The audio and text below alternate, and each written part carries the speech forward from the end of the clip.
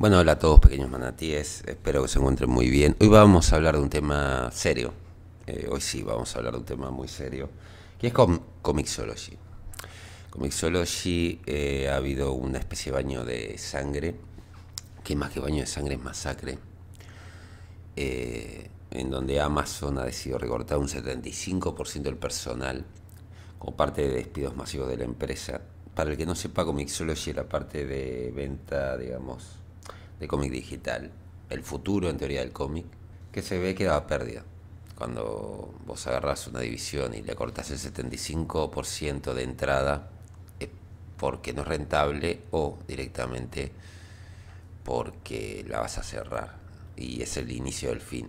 por lo general no es un 75%, es un poco menos, pero esto tiene pinta de que eh, el, al menos la dirección va hacia el cierre de esta división. Según un ex empleado de Comixology, habría perdido la mayoría de su fuerza laboral como resultado de la última ronda de despidos masivos de la empresa. ¿no? Se achaca un poco el tema de la inflación, este, los gastos, ¿no? los costos y demás, pero por lo general es costo-beneficio lo que vos tomás en cuenta, o sea que no sería rentable o, eh, o no tendría buen rendimiento internamente. Como parte de su deseo anunciado recientemente de eliminar 18.000 puestos de trabajo en sus departamentos, esto es para mejorar las ganancias de venta minorista y recursos humanos, la mayor medida de reducción del personal en la historia de la compañía Amazon comenzó a dar las malas noticias el 18 de febrero.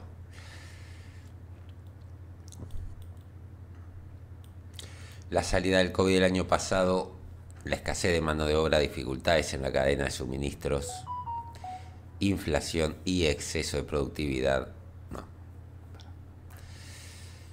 La salida de la pandemia el año pasado fue un desafío, escasez de mano de obra, dificultades de la cadena de suministro, inflación y exceso de productividad debido al crecimiento tan sustancial de nuestras redes de cumplimiento y transporte durante la pandemia, todo lo cual aumenta nuestro costo de servicio, explicó el CEO minorista Doug Harrington en un memorando en toda la empresa que anuncia los recortes de personal, según lo compartido por el supervisor de Amazon, Jason Del Rey. A medida que nos acercamos a 2023, seguimos en tiempos económicos inciertos. En realidad, una recesión se plantea. Todo el mundo plantea una recesión y una inflación alta para Estados Unidos. No sé, no sé hasta qué punto, pero se plantea continuó Harrington, por lo tanto hemos determinado que debemos tomar medidas adicionales para mejorar nuestra eh, estructura de costos para que podamos seguir invirtiendo en la experiencia del cliente que atrae a los clientes de Amazon para crecer nuestro negocio. Eh, Amazon es enorme, Amazon es eh, tiene casi el PBI de un país. No, capaz que tiene el PBI de un país chico. Es impresionante lo que mueve Amazon. 18.000 empleados para la cantidad de empleados que tiene Amazon es nada, básicamente. Es, es que es un país.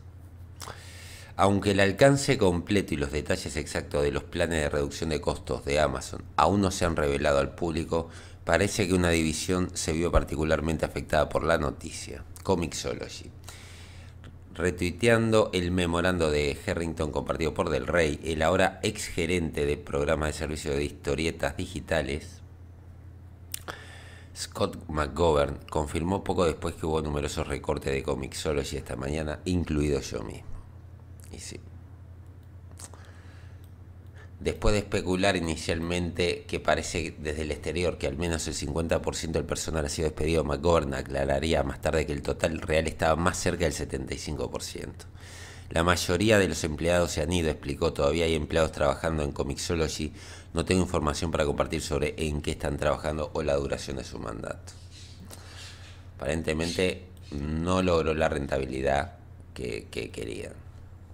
Sin embargo, aunque McGovern no estaba al tanto del estado posterior del funcionamiento interno, un empleado que sobrevivió a los recortes dejó en claro que tenía poco optimismo hacia el futuro del servicio. En su Facebook personal, después del baño de sangre barra masacre, El gerente técnico de cuentas de Comixology, Mike Eisenberg, se lamentó. Resulta que soy uno de los pocos afortunados que queda para completar un equipo mínimo manteniendo las luces encendidas por un tiempo más, pero no se puede subestimar lo que se ha perdido hoy. Un 75% esto pinta cierre. Es algo, es como lo que están haciendo con DC. Solo que en DC es un poco más sutil. Esto tiene una pinta horrible. Tengo un reloj en marcha en mi empleo, agregó sombríamente. Los que quedemos haremos lo mejor que podamos, pero no me sorprendería si los cómics digitales en Kindle vuelven a ser una especie de desastre como lo fue antes eh, de que Amazon adquiriera CMX hace muchos años. Muchas personas asumieron que CMX se había disuelto cuando la aplicación heredada desapareció el año pasado, pero hemos estado aquí todo el tiempo haciendo todo lo posible para mejorar la experiencia de los clientes, editores y creadores concluyó Eisenberg, no sé cómo será esta experiencia en el futuro cercano, pero la mayoría de las personas que sabían algo sobre cómics y que realmente les importaba van a extrañar, así que si no eres optimista, no lo sé. Culparte yo tampoco. Chan, chan, chan.